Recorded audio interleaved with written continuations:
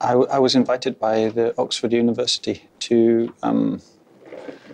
to sort of make something to mark the the, the event of the 2012 transit of Venus. Um, and it kind of snowballed into a much bigger thing than they imagined. I, I, decided very early on that I'd like to go and film the transit of Venus. Um, so it meant that this thing that I think they thought would happen on the day couldn't happen until much later. So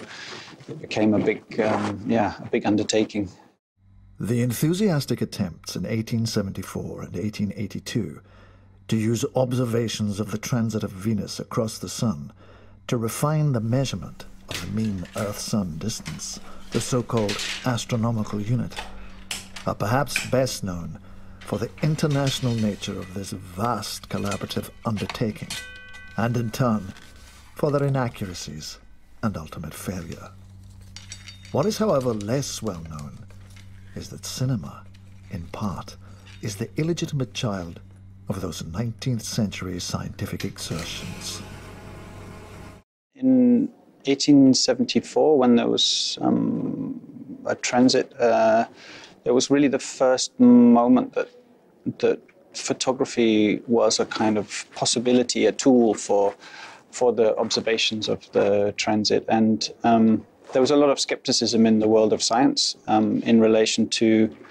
whether that was a sort of um, uh, yeah a viable um, tool for for their observations, but there was one particular scientist, Jules Janssen, a French astronomer, who was really a pioneer of the use of photography in science. He'd made these amazing images of sunspots uh, with, with, with um, photography, and he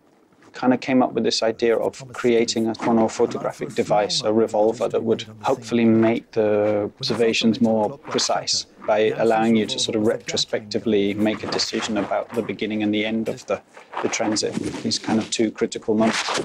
So, yeah, it was just this kind of, I suppose, um,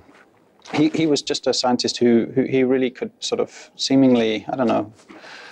um, think in a very independent way and and um, sort of put these things together chronometry photography. It was prompted by this phenomena the black drop which was this strange moment of distortion in your perception of the shape of Venus across the edge of the sun. This had been a constant problem for previous observations of the transit of Venus. This moment of informational slippage if you like a kind of indecision about when to start the clock on the transit and he put those things together it never really worked, actually, but um, it, of course, led to many other things. While Janssen famously claimed that photographs would become the retina of the scientist, there were many who warned against cinematographic techniques, the most influential of whom was the philosopher and critic Henri Bergson, who demanded that the scientific establishment set aside such strategies. Bergson argued that it was not only Venus's form, plagued as it was by the black drop that was elusive,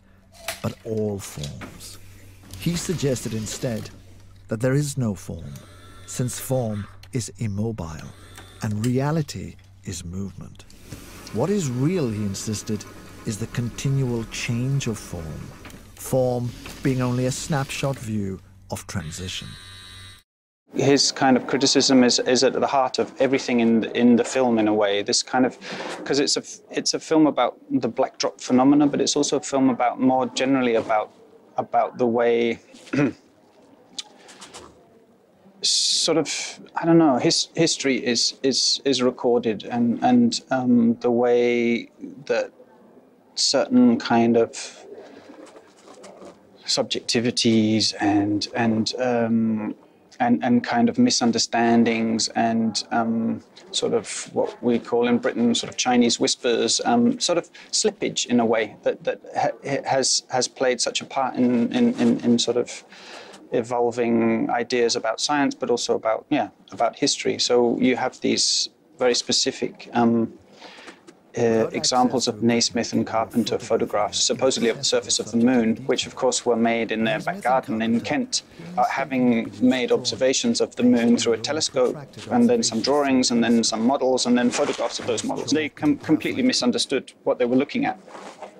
and, and, and yet sort of presented these these photographs as, you know, scientific fact information. The other sort of very clear example in the film is this portrayal of Captain Cook's death, linked very much to the transit of Venus through his travels to the South Pacific. And again, there were these ship's artists who made the sort of original drawings of this event, hadn't even witnessed the event, and made the drawings based on accounts from different people on, on board who were there. It became an incredibly sort of iconic sort of media image at that time, and many people made versions of this which um, portray very different sort of um, uh, takes on the story, if you like. And so that, that was again another example of so so the, in a way the black drop phenomena, this very simple distortion becomes a sort of I don't know like a model or metaphor for all of those other distortions that are happening, and also through the portrayal of this editor trying to piece together this narrative, um, this rather complex narrative. He is sort of also implicated in that, in that sort of process.